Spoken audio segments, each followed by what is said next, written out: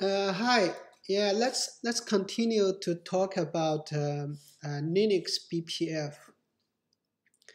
So you can write a Linux uh, BPF um, program uh, in uh, like uh, with with following four languages. So you can write a BPF uh, in the raw bytecode or the uh, BPF instruction set, or you can write BPF code in uh, restricted C, or you can write a BPF program with high-level in, in interpreting language Python with a BCC or you can write a BPF program with a Golang, uh, which is called a Go BPF. And uh, yeah, so today I'm going to show you an example to write BPF, BPF program in bytecode. So here is my uh, Linux uh, source code. So in the sample directory, we have an example here. So this is coming from the Linux kernel source sample. And uh, so this, this example is to uh, calculate the uh, TCP or UDP or ICMP packet, uh, calculate, calculate the number of uh, TCP or UDP or ICMP packets. And uh, when you attach this uh, BPF program to a, a interface, uh, and then uh, this program will run and to calculate the numbers and display in the terminal so this is this program is uh, written in uh, the uh, bytecode or the BPF instruction set. Uh, so here is um, here is the function, uh, including the uh, bytecode instruction. BPF instruction set. So this is the this is an array of uh, BPF uh, instructions. And uh, so we have this instruction set, then you call this uh, BPF load, load BPF load program to load the uh, instruction set and uh, with type socket filter. So there is a like a BPF program type uh, so this one we want to uh, attach to a socket. Uh, so this is socket filter type of BPF program. And so this is the, the array, the instruction array set and the, the instruction count. Yeah, so pretty simple, right? So you have the instruction set and then load the instruction. And then here is you open up a raw socket uh, in the, to the uh, loopback interface and then attach the attach the um, uh, BPF program to the socket to the raw socket. And uh, so we here when you load the BPF program it will re return a, a, a, program file descriptor. So you you basically you attach this file descriptor to the socket.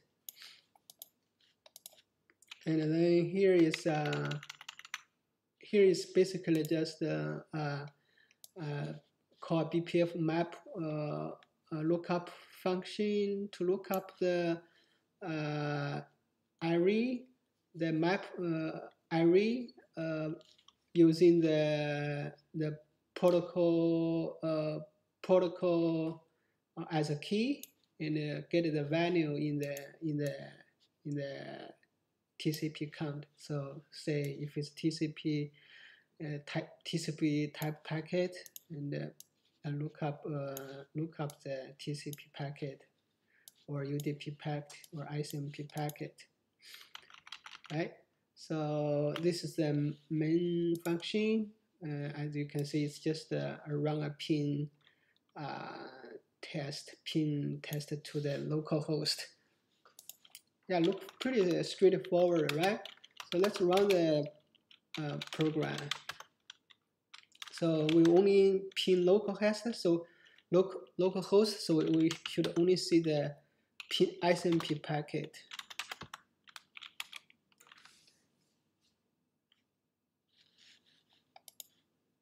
Right, so it only shows the ICMP packet, number of ICMP packet going through the loopback interface, right? Yeah, so let's look at the um, the so this is just only a few bytecode instruction set. So we can we can like uh, uh, maybe briefly explain uh, the instruction. So there is a, like a this there is like a I think it's a 11 or 10 register and uh, in the in the BPF uh, instruction set. So this is the register 1, this is the register 6. So the register 1 um, point to the point to the um, uh, socket buffer if if this uh, uh BPF program is a socket uh, uh, type, and so the the default context is pointed by the register one and uh, which is a socket buffer. So move the socket buffer. Uh, the socket buffer uh, contains the packet, right? So the the the so this is like copy the socket buffer to register six uh, as a backup. So both reg register one and register six pointed to oops, pointed to the socket buffer. So this is a node the uh, node bytes uh, with uh, offset uh, Ethernet header plus the uh, IP protocol uh, offset. And uh, so this is just basically take the IP protocol uh, value and uh, store it in register zero. And so this is um, uh, this is a register 10, uh, which is uh, by default pointed to the stack pointer, or or they call it a frame pointer. So stack base pointer. And so uh, minus 4 bytes. So the stack pointer minus 4 bytes. Uh, and then uh, assign the the protocol uh, to the to the, the stack uh, stack offset uh, four bytes. And uh, so, and this is like a, a copy uh, register 10 to register 2. And the, yeah, this is uh, so, and then also um, register register two uh, minus four bytes, which is register register two also point to the to the to the protocol value, uh, the socket buffer IP protocol value, and um, yeah. So this this is a node the, the map uh, file descriptor uh, to register one. Okay. And then, so this this instruction is a, a jump call, uh, call this BPF uh, map, map, uh, map lookup function uh, with the with the stack um, variable uh, register two uh, as a as a as a key uh, because this uh, register two pointed to the the the protocol. So lookup use this BPF map lookup function look look up look up the key uh, as IP protocol. Look up the protocol as a as a key to get its value. And uh, so the this function the, the return value uh, the the return value will be uh, stored in register uh, zero uh, which is the return value. So register zero uh, store the uh, return value. And uh, so this jump call uh, says if uh, if this return value equals zero, which means there is no such a, a protocol, then jump two instructions. so it will like skip two instructions. So we'll skip this instruction and this instruction. So uh, comes to this instruction basically just sign return value 0 to uh, the register 0 and then exit. But uh, if it's not a if it's not a 0 then continue this uh, two instruction which is uh, uh, it's find the protocol and the value is non-zero and then store uh, value 1 to register 1 and then uh, do the add uh, store and add uh, uh, instruction. Uh, so it's basically added the return value with the register 1 which is 1 and then assign it to register 0 so which is like added the added the value uh, based on the protocol key, right? So yeah, and um, there, if you want to know more this uh, how this uh, uh this uh, instructions, you can go to the go the kernel has a uh, in the kernel.org documentation under the networking networking okay so I can show you here. So under the documentation networking so filter uh, this document uh, included all the instru instruction set and uh, then register and uh,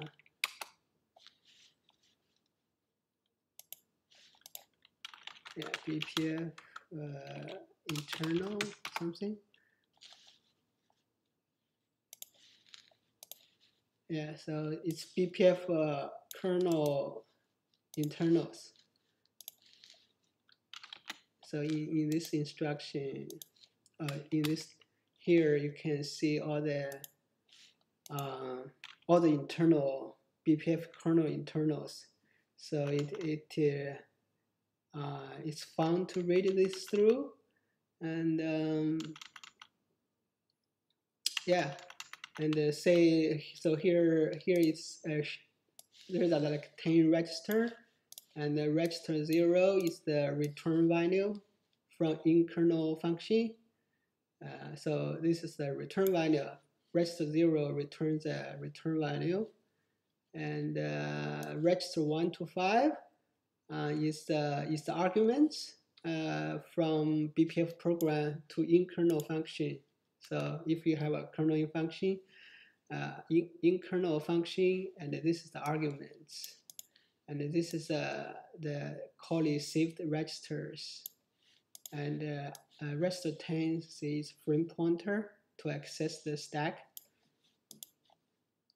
Yeah, and so there's a, like a one-to-one -one map to uh, x86 uh, assembly instruction uh, from so like here it says 64-bit uh, architectures and for uh, for uh, x86 so there's a like a one uh, one to one map relations like the register zero is mapped to the uh, RAX register, which is the return value for for return register return value for x86 uh, and uh, yeah. So one-to-one -one map relations. Uh, yeah so this is very informational uh, about how um, uh, how it uh, how how you write the uh, write the BPF code in raw instruction, BPF in raw BPF BPF instruction. Yeah. So and uh, you, if you have enough uh, expert knowledge about the BPF instruction, uh, and uh, I'm still learning, and it it's it's uh, it's not easy to write the in instruct the raw instruction set. So for example, uh, there um, uh, there is some uh, expert uh, BPF expert who can write instruction who can write an instruction like this. Uh,